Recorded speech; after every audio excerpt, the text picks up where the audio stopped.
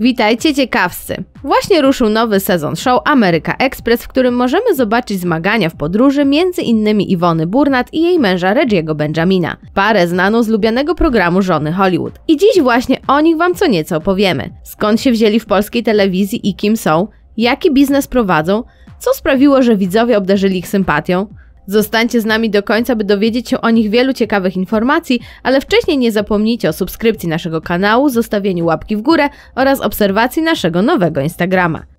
Iwona Burnat zadebiutowała w polskiej telewizji w 2015 roku, gdy wraz z ukochanym Regim pojawiła się w programie Żony Hollywood. Stylistka psów gwiazd Hollywood błyskawicznie zdobyła sympatię widzów, głównie dzięki łamanej polszczyźnie i ogromnej wręcz miłości do zwierząt. Zarówno w jednym, jak i w drugim przypadku porównywano ją do Joanny Krupy, jednak Iwona sama w sobie jest oryginalna. Kobieta szaleje na punkcie swoich dwóch psów, a Tobi i Pucci żyją chyba najbardziej wygodnym życiem, jakie w ogóle mogło spotkać czworonogi. Burnat stroi pieski, urządza im przyjęcia, często zabiera na oficjalne wyjścia, dlatego Tobi i Pucci wielokrotnie bywali na czerwonych dywanach, głaskani przez gwiazdy światowego formatu. Jak Iwona wyznała w jednym z pierwszych wywiadów, których udzieliła naszej rodzimej telewizji, wcześniej nie miała okazji być w Polsce. A ściślej, była tu tylko jako malutka dziewczynka i nawet tego nie pamięta. Urodziła się 7 września w Chicago w rodzinie Polaków Marii i Karola pochodzących z Tarnowa, miasta w Małopolsce. Nie wiadomo w którym roku przyszła na świat, więc ciężko określić ile dokładnie ma lat. Gdy była mała, w domu zawsze mówiło się po polsku. Rodzice zadbali o to, aby ich dzieci wiedziały skąd pochodzą i znały ojczysty język.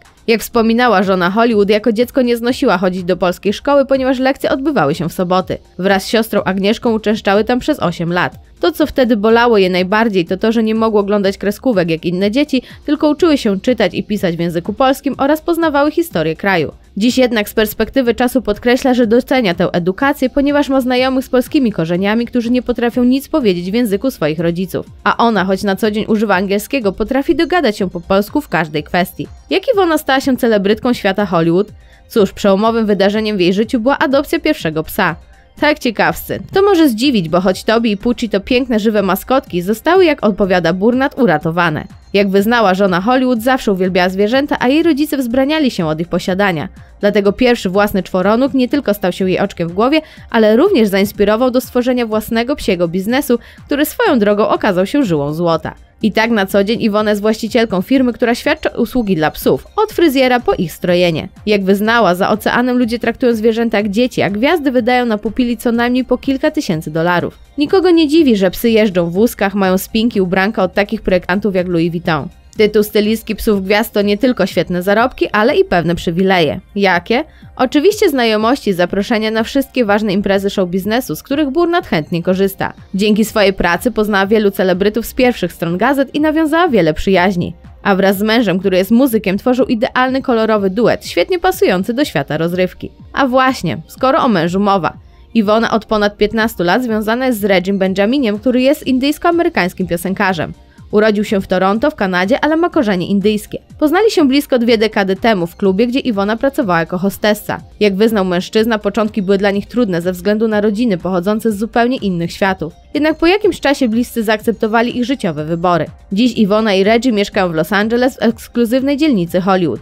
Ich sąsiadami są m.in. Kim Kardashian i Justin Bieber. Podczas trwania programu Żony Hollywood Reggie zdecydował się oświadczyć swojej wybrance. Zrobił to w spektakularny sposób w powietrzu na wysokości 9000 metrów. Iwona otrzymała pierścionek o wartości 100 tysięcy dolarów z 3,5 karatowym diamentem. Następstwem tego wydarzenia był ślub w lipcu 2016 roku, któremu też towarzyszyły kamery. Iwona zdobywając popularność w naszym kraju postanowiła spróbować ze swoim biznesem i tutaj choć na zupełnie innych warunkach. W 2018 roku w Warszawie otworzyła butyk i fryzjera dla psów Tobi i Pucci. Para stworzyła wtedy też fundację na rzecz czworonogów. I tak, jak zapewniają, każdy grosz z psiego biznesu w Wilanowie zostaje przeznaczony na pomoc bezdomnym, zaniedbanym zwierzakom. I jak się okazuje, jest to miejsce, gdzie można spotkać wiele polskich gwiazd, które też dbają o wygląd swoich pupili. Dla Iwony zadowolony klient to największy sukces, a ponieważ w dodatku robi coś dobrego, kobieta czuje się naprawdę spełniona. Dzięki zdobyciu sporej popularności w Polsce para została też zaproszona do udziału w innym show, czyli drugiej edycji Ameryka Express, która właśnie ruszyła na antenie TVN-u. Jak Iwona i Reggie poradzą sobie w ekstremalnych warunkach podróży?